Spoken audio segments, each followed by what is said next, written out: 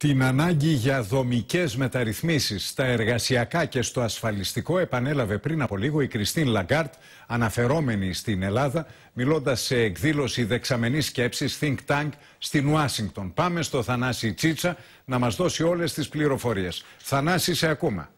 Η κυρία Λαγκάρντ Νίκο, μιλώντας στην Ουάσιγκτον πριν από λίγο σε εκδήλωση της δεξαμενής σκέψης American Enterprise Institute με θέμα την παραγωγικότητα της παγκόσμιας οικονομίας, ρωτήθηκε για το ελληνικό ζήτημα και αφού απέφυγε να απαντήσει σε ερώτηση για τη δεύτερη αξιολόγηση, ανέδειξε τις διαφορές και τη διαφωνία της με το Βερολίνο, λέγοντας ότι δεν ταυτίζεται με τον Γερμανό Υπουργό Οικονομικών Βόλφγκανγκ Σόιμπλε, ο οποίος λέει ότι η παραγωγικότητα είναι το πρόβλημα της Ελλάδος και όχι η ελάφρυνση του χρέους. Το Ταμείο είπε, πιστεύει ότι η Ελλάδα χρειάζεται λιγότερο χρέος, ενώ ζητά μεταρρυθμίσεις. Βιώσιμες, δομικές μεταρρυθμίσεις, κυρίως στα εργασιακά και στο ασφαλιστικό, για να απελευθερωθεί η παραγωγικότητά της. Κυρία Λαγκάρντ, επανέλαβε ότι η πολιτική του Ταμείου δεν έχει αλλάξει. Θα συμμετάσχει στο ελληνικό πρόγραμμα μόνο αν ικανοποιηθούν τα δύο αιτήματα που έχει θέσει, δηλαδή μεταρρυθμίσεις και ελάφρυνση του χρέους συμβατή με τις ανάγκες της Ελλάδος. Νίκο.